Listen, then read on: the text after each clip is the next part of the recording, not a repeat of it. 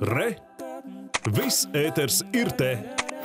Doma baznīcā šodien pēdējā atvada vārdi tika teikt vienam no izcilākajiem latviešu ārstiem un politiķiem Georgam Andrējevam.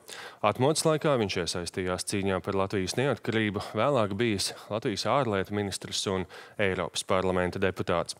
Izcils cilvēks un draugs, Allaž gatavs palīdzēt un Allaž pildīja solījumus. Viena no Latvijas zīmēm pasaulē, kura darīja Latviju labāku. Tā Georga Andrējeva laika biedra.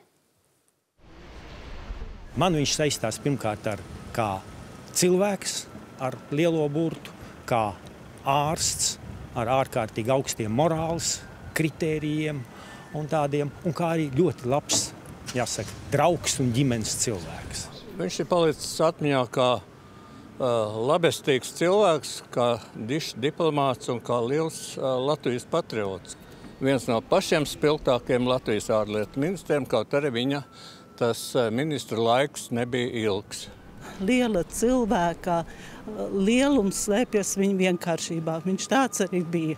Un man, protams, ir prieks, ka viņš tālāk mums bija pirmais ārlietu ministrs, bet man viņš ir ļoti mīļā atmiņā no mūsu studiju, nu ne studiju darba gadiem, kad viņš mums ļoti daudz Latvijas anesthezologu ir mācījis pasakāns cilvēks. Viņš bija dziļi inteliģents, erudīts, ārkārtīgi, ārkārtīgi vērtīgs cilvēks. Man ļoti žēl, Latvija daudz ko zaudējusi.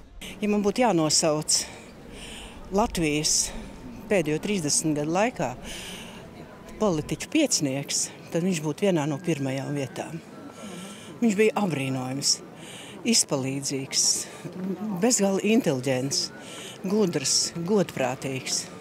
Man pat grūti atrast tādu cilvēku. Vienmēr džentlmenis, vienmēr. Un sirsnīgs te pašā laikā. Un es domāju, simtprocentīgs Latvijas patriots, bez šaubām. Vienmēr to atcerēšos un skumji, ka mums arvien paliek arvien mazāk šādu cilvēku. Neatliekamās palīdzības busiņi pasaulē ir pateicoties Georgam un Rēvam. Viņam izdevās to panākt. Tagad viss pasaule braukā mikrobusiem. Tad, protams, jau sen ir daudz pārāk, tehnika daudz labāka. Mēs varam daudz ko daudz labāk izdarīt šajos busiņos.